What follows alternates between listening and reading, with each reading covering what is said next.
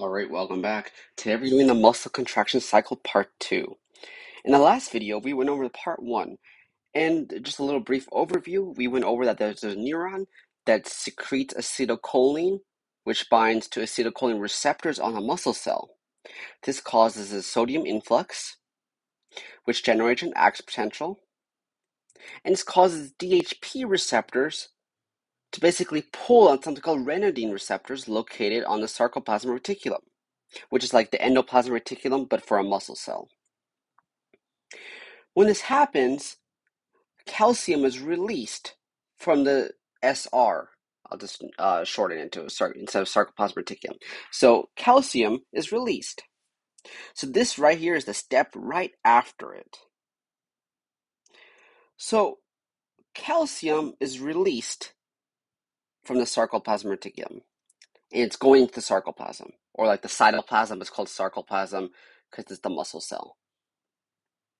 So the calcium concentration is high. Calcium binds to something called troponin. Now, I have a key here.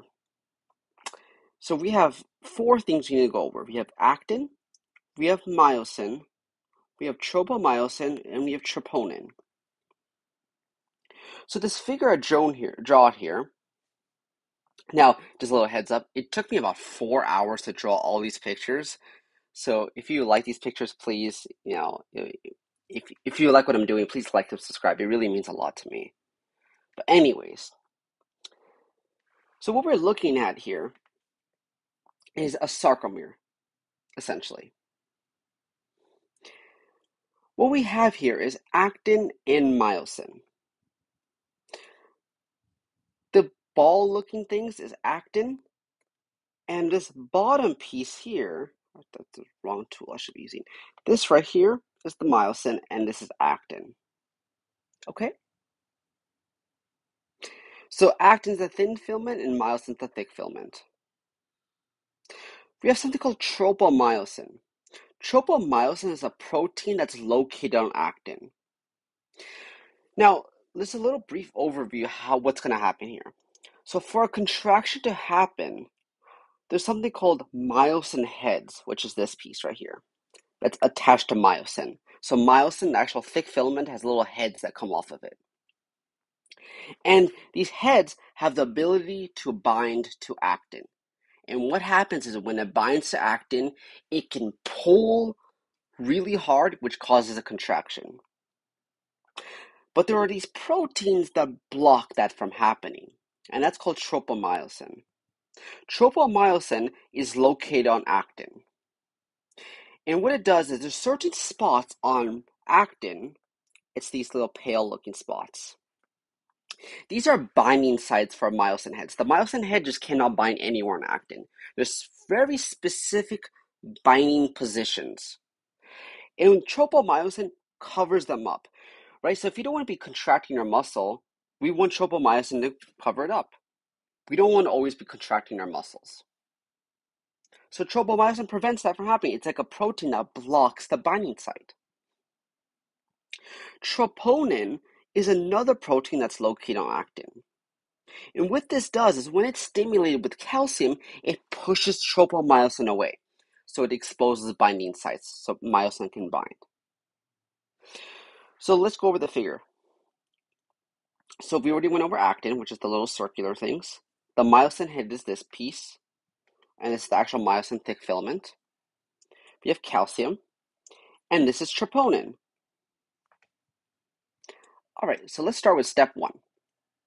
Step one, calcium binds to troponin. So you have an influx of calcium because the sarcoplasmic reticulum has released calcium. And the calcium is binding to troponin. You have our little troponin molecule or protein, and calcium basically just sticks on there. That's literally the first step. That easy. Second step.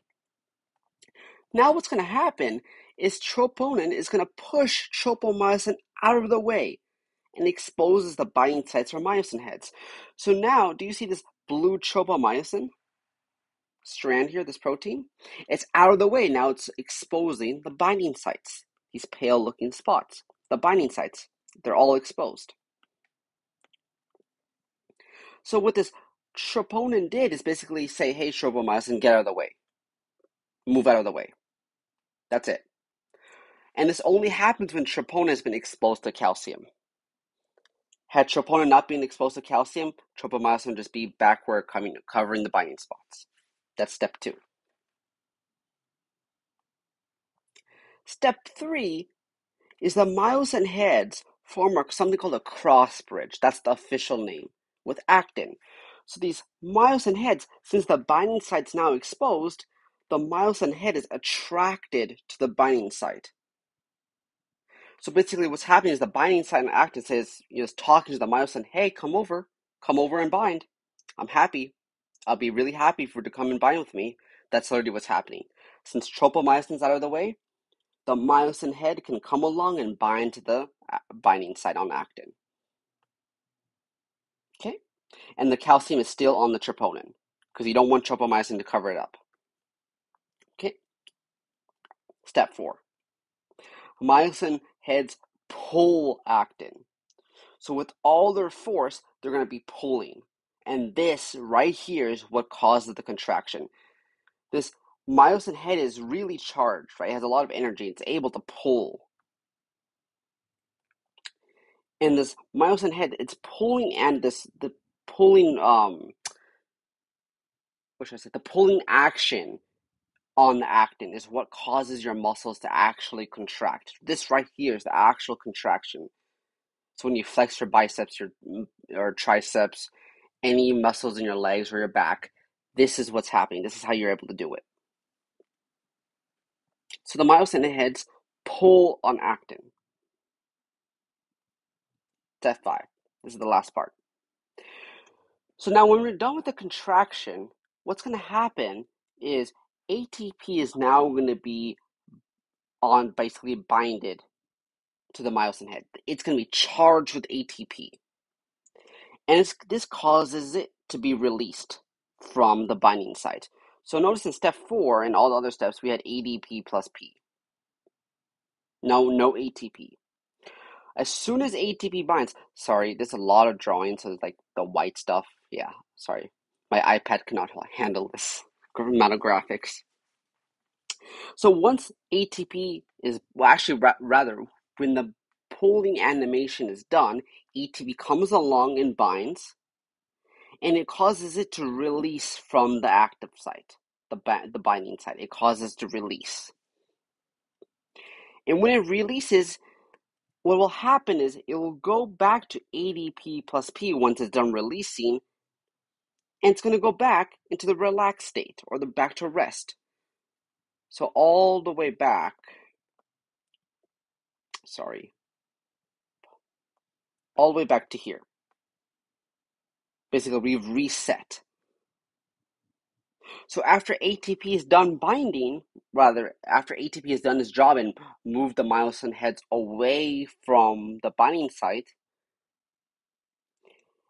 it's gonna ATP is gonna basically be broken off and be, be turned to ADP plus P. Now, you're probably wondering why ATP? What's the purpose? Sorry. As you can see, five hours of drawing causes this. so, originally, remember, the myosin heads were bound to here. So they want to stay here. They don't want to be let go. They're happy. So they're they're happy in this position. They're happy in this position. They don't want to let go. Why would they want to let go? But we need to let go. So we can go back to rest, essentially. And the only way they'll ever let go is if ATP comes along and binds. And that causes the release. And once it's released, we're back to step one. We're back to rest, basically. And yes, back to step one. And that right there is the entire muscle contraction cycle. So with part one and part two, this would conclude basically how skeletal muscles contract and how your yes how your muscles contract. If you found this useful please like and subscribe and until later see ya